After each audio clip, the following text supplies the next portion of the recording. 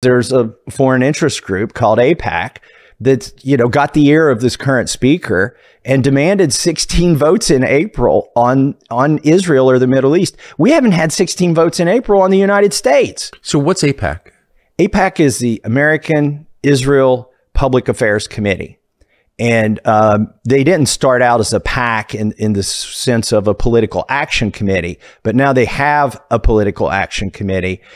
Um, ostensibly, it's a group of Americans who lobby on behalf of Israel. They're for anything Israel. Um, and they're a very effective lobbying group. To understand AIPAC, I think it's easiest to model them as a uh, military industrial lobby. Like their biggest thing is they want more equipment, more military equipment from the United States going to Israel. In fact, when they used to be allowed in my office, the thing they, the argument they would make is, oh, we're just stimulating the U.S. military industrial complex because every single penny of the 3.8 billion that they nominally get, now they're getting way more than that, but that Israel nominally gets goes to U.S. military contractors. Israel is creating tens of thousands or hundreds of thousands of, of people who are going to hate the United States. And and you know they're going to hate Israel also but because we're giving Israel the weapons to do what they're doing we're creating a lot of people who hate us in this country. But we're told that it's essential to our national security to do that. Do you believe that? No I don't see that I mean, one of one of the reasons, like I said, the Biden letter said, well, we need to keep our industrial base strong, so let's fund all these weapons and send them over. But I don't see how it's strengthening our country. In fact, we're getting weaker by doing it because at that point they sensed I wouldn't do what they wanted when but what did they whisper against you? What were they saying about you? Um, well, they would do it through, for instance, churches, evangelical churches. They've got an organization called Christians United for Israel, where they sort of co-opted evangelicals uh, people think it's a grassroots movement in Kentucky. It's actually a top down movement from AIPAC so that people who aren't even Jewish will feel like they've got to support Israel, you know, no matter what. And even if it's a secular state that funds abortions, they, you know, just sort of forget that part and we've got to fund Israel. So they have networks. So it's more than just about the money. They try to get me to write a white paper as a candidate, for instance, for Congress. On what? On Israel. And I wouldn't do it. And they said, why? And I'm like, I don't do homework for lobbyists, right? I'm like, I didn't, I didn't like writing term papers at college. I'm not writing one for you. What did they say? They said, "Oh, well, here, just copy Rand Paul's term paper and put your name on it. We'll accept that." And I'm like, "No, I'm still not." I mean, you're laughing, but you know what? I bet uh, I may be the only Republican in Congress who hasn't done homework for AIPAC. And it's just what it is, it's conditioning. They want you to do something very simple and benign and, you know, for them. They don't really, they don't really grade your term paper. They just want to know that you'll do something for them. And if you'll do something for them as a candidate, you're more likely to do something for them as, as a congressman when you get in there. You're probably the only Republican in the House who hasn't done homework for them, who isn't on their side. And that's okay. I mean, you can have, you know, you're a libertarian oriented right. Republican from Northern Kentucky. Why do they care? Why not just let Thomas Massie be Thomas Massie in Northern Kentucky? Like, why, why the need to crush you? I don't know. I think it's they don't want one horse out of the barn. If one person starts speaking the truth, they're afraid it could be contagious, perhaps. So you've been, um, I think, the lone Republican to dissent from a lot of these votes. Can you, like, how many votes have there been? Oh my on this question and where have you voted on them? Last month, we voted like 15 or 16 times on issues related to Israel. And, you know, I've been hit because I voted no on all of those. Why do you, because you hate Israel or is there another reason? Let me just put a little footnote here. I'm not against Israel. I've never voted to sanction Israel. I've never said anything particularly, you know, critical of Israel. Uh, you know, uh, other than, for instance, right now they're bombing. They've killed one percent of the civilian population in Gaza. That's concerning to me. I'm against uh, sending our money overseas. I'm against starting another proxy war. I'm against sanctions because it's going to weaken the dollar. Uh, I'm for free speech. Like all of these resolutions run afoul of those things, and that's why I can't vote for them. Tell us what the free speech part of it. So recently, they brought a bill to Congress and this was actually a binding bill, not a non-binding resolution. Like Right. this was going to have the effect of law, and people would get, you know, prosecuted if they um, engaged in anti-Semitism on campuses. And the problem with this bill is they use some international definition of anti-Semitism on a website somewhere. My first question is, why don't you just put the definition in the bill? Why are you pointing to somebody's URL in a, a piece of legislation? So I went to this website and it's got a you know fairly short definition, but it's also got examples of things that would be considered anti-Semitism. And some of these are actually passages in the New Testament, if you will, would be banned by this international definition of anti-Semitism. For instance, saying that uh, Jews killed Jesus, which is you know in the Bible, he was he was not welcome among his own people. Okay. Um, and so that would be anti Semitism. And if you engaged in that on campus or just offered that as a thought, let's say in a classroom, you would be anti Semitic and you would run afoul of the Department of Education and some federal laws.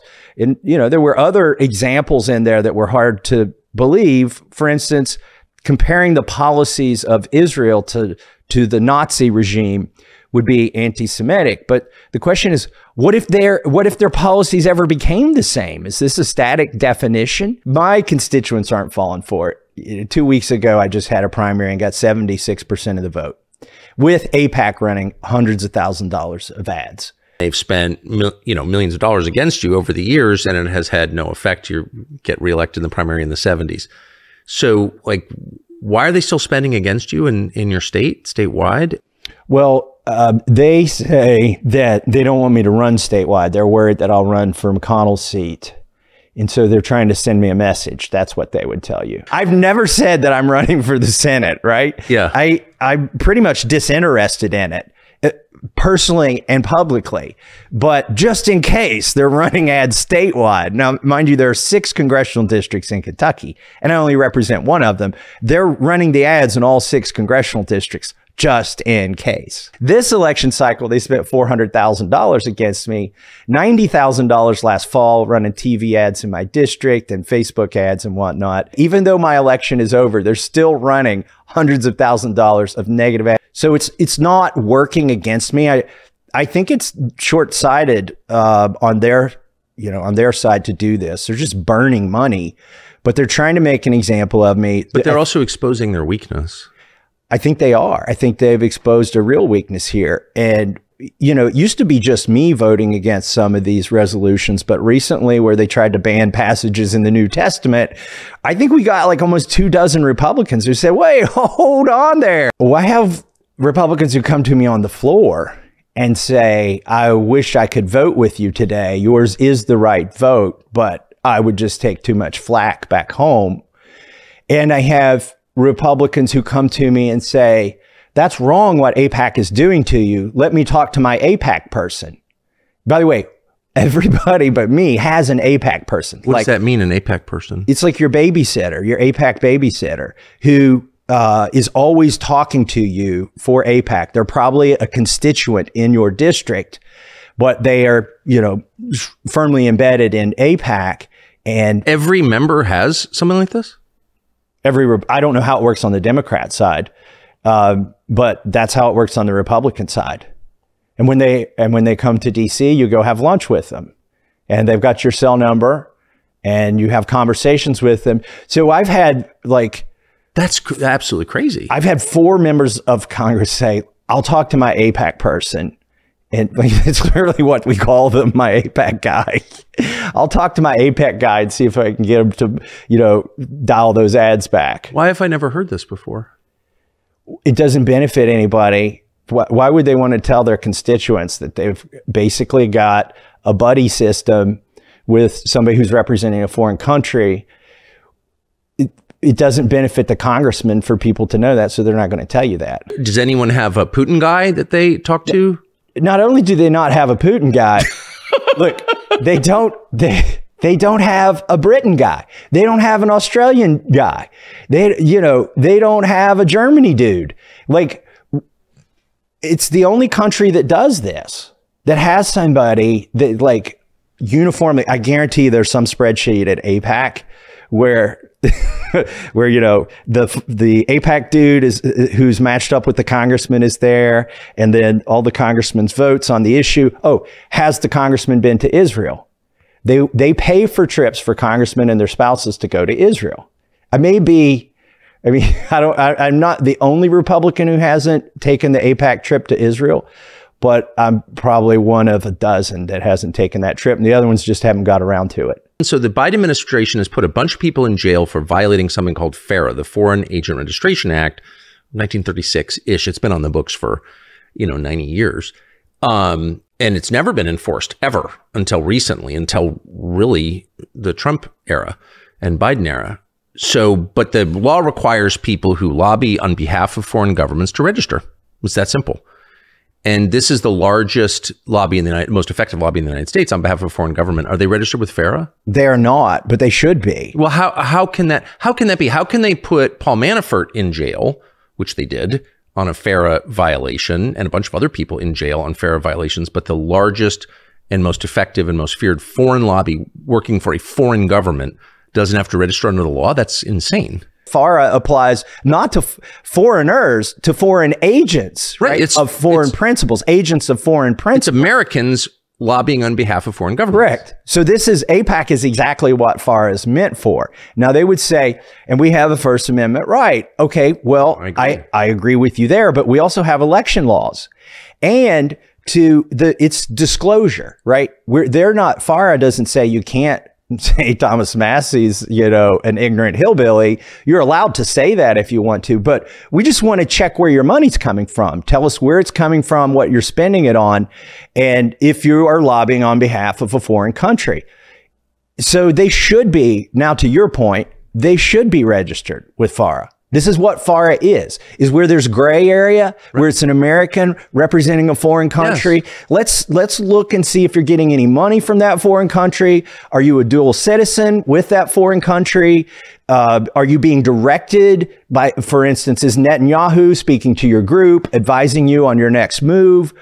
Those are you getting money from the military industrial complex? Like th- they would i think be okay with a war with iran like an all out you know apocalyptic war with iran whereas there are people in israel say whoa hold on a second.